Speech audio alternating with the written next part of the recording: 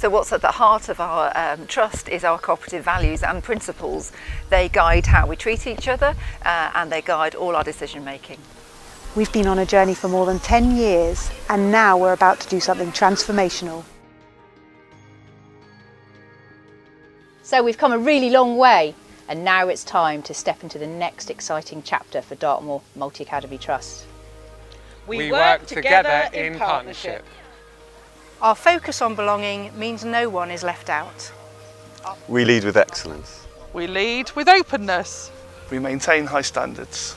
We lead our schools with civic responsibility for the good of the whole community. We lead with faith.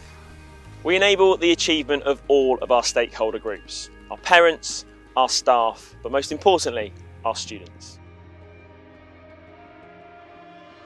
The cooperative value of self-help underpins our leadership. We lead with equality. We lead with equity. We lead with democracy. We lead with solidarity. Self-responsibility is a value that applies to everyone in the Trust. It asks us to consider the consequences of our actions, our behaviours and our choices because in all things we're never alone and we're always part of something bigger.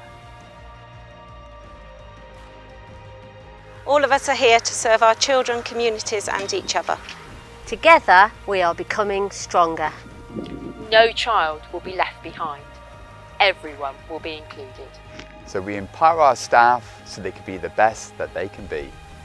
We support every staff member to meet their potential. Opportunity for everyone.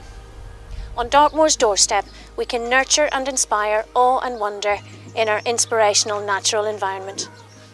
Relationship is based on connection, and connection is rooted in family. The family we're born into, the ones that we choose, and sometimes the ones that choose us. At Dartmoor Multi Academy Trust, we are family. Come be part of the experience.